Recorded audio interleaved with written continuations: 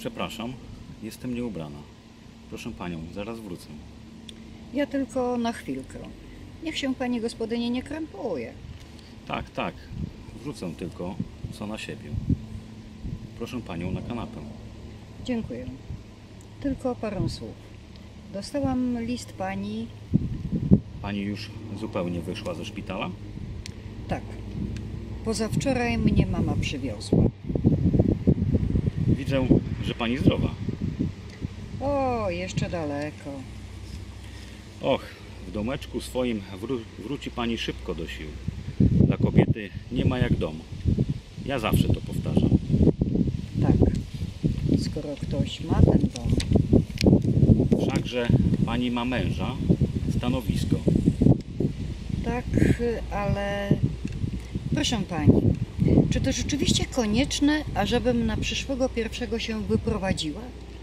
Proszę pani, ja mieszkania pani koniecznie potrzebuję dla krewnych. Wolałabym pozostać. Trudno będzie znaleźć w zimie. Ach, to niemożliwe. Powtarzam pani, niemożliwe. Przecież przy dobrej woli. Wiem, że pani kazała kartę na mieszkanie wywiesić, a więc krewni pani się nie sprowadzają.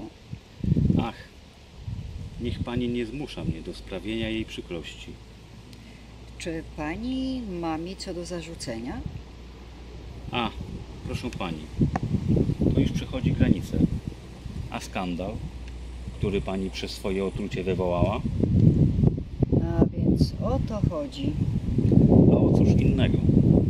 Płacili mi państwo czynsz, dzieci i psów nie mieli.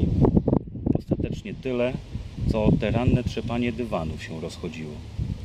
I mogliby państwo mieszkać nadal. Aż tu, skoro o tym pomyślą, pąsy na mnie biją. Pogotowie ratunkowe przed moją kamienicą, pogotowie jak przed szynkiem, gdzie się pobiją. Ależ, y, proszę pani, wypadek może się zdarzyć wszędzie. W porządnej kamienicy wypadki się nie trafiają. Czy pani widziała kiedy przed hrabską kamienicą pogotowie? Nie. A potem ta publika. W gazetach trzy razy wymienione nazwisko Dulskich. Nazwisko moich córek przy takim skandalu. Ależ, proszę pani, chyba pani zna przyczynę i Wielka afera. Że pani mąż, no i ta dziewczyna, to swoja rzecz. Ależ to była moja sługa. To szkaractwo. Ja tego znieść nie mogłam. Skoro się przekonałam, Zażyła pani zapałek, taka trywialna trucizna. Ludzie się śmieli. Jeszcze jak się to skończyło? Cała komedia. Gdyby pani była umarła, no, sama żałuję. nie mówię dlatego, tylko że to niby śmierć. To zawsze coś niby, ale tak, no, powiadam pani, śmieli się. Kiedyś jadę tramwajem, przejeżdżamy koło mojej kamienicy, bo przystanek trochę dalej, a jacyś dwaj panowie pokazują na mój dom i mówią: Patrz, to ten dom, co się ta zazdrosna żona truła. I zaczęli się śmiać. Myślałam, że tam na miejscu zostanę w tym tramwaju. Ja panią bardzo przepraszam za te nieprzyjemności. E, moja pani, publika została publiką. Ja to, bardzo to przechorowałam. Zresztą ja nie wiedziałam, co robię. Ja byłam wtedy jak szalona. Pewnie, moja pani. Każdy samobójca musi być szalony i stracić poczucie moralności i wiary w obecność Boga. To, to jest tchórzostwo. Tak jest. Tchórzostwo. Potem zagłada własnej duszy. Dobrze, że samobójców chowają osobno. Niech się nie pchają między porządnych ludzi. Zabijać się i dla kogo? Dla mężczyzny? A żaden mężczyzna, moja pani, nie jest wart, aby przez niego iść na potępienie wieczne. Proszę pani, to nie chodziło o mężczyznę, ale o męża. E, Nie mogłam ścierpieć tego pod moim dachem. lepiej pod swoim niż pod cudzym. Mniejsza publika. Nikt nie wie. Ale ja wiem.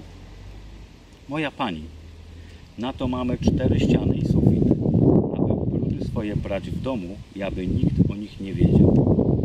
Rozwłóczyć je po świecie to ani moralne, ani uczciwe. Ja zawsze tak żyłam, ażeby nikt nie mógł powiedzieć, że byłam powodem skandalu.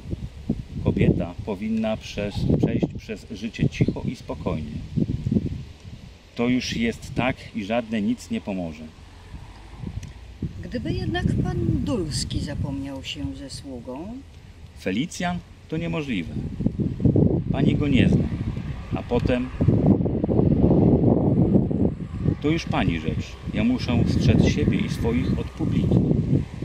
Pani może znów taką bezbożność popełnić, bo to podobno taki szał. To wraca, więc rozumiem. Wyprowadzę się. Chciałam pani jednak powiedzieć, że kazać mi teraz szukać mieszkania to ani dobre, ani uczciwe. Jestem taka osłabiona. uczciwości mnie pani nie nauczy. Ja wiem, co uczciwość. Pochodzę z zacnej, zasiedziałej rodziny i ja publiki nie wywołuję. Nie wątpię. Jednak może się pani nie obawiać. Drugi raz struć się nie będę. Na to trzeba wiele odwagi, pomimo tego, że pani to nazywa tchórzostwem. Potem trzeba wiele cierpieć. Na to już nie mam sił i już bym tak nie potrafiła cierpieć jeszcze, raz jeszcze. Zresztą się z mężem, więc to najlepsza gwarancja, że już zazdrosna nie będę. Rozstaje się pani z mężem? Bardzo źle pani robi. To nowa publika i nikt pani racji nie przyzna. Nawet z tej przyczyny nie mogłabym pani dłużej wynajmować mieszkania w mej kamienicy. Kobiety samotne to nie tego, to. No, pani rozumie. Tak, rozumiem. Jednak ta pani z pierwszego piętra, która po nocach wraca, To jest osoba żyjąca z własnych funduszów i zachowująca się nadzwyczaj skromnie. Tam jeszcze pogotowia przed dom nie sprowadziła. tylko gumy i automobile. Stają zawsze kilka kamienic dalej, a potem zdaje się, iż ja nie mam obowiązku zdawać sprawy z mego postępowania przed panem. Zapewne zawiodłoby nas to za daleko. Proszę tych, co będą oglądać mieszkanie, nie zrażać. Powiem, że jest wilgoć, bo rzeczywiście jest wilgoć. Na to jest sąd, łaskawa pani. Tak mi każe moje sumienie. Żegnam panią. Maniu, słyszysz? Będziesz świadkiem. Pani mówi, że Żegnam panią.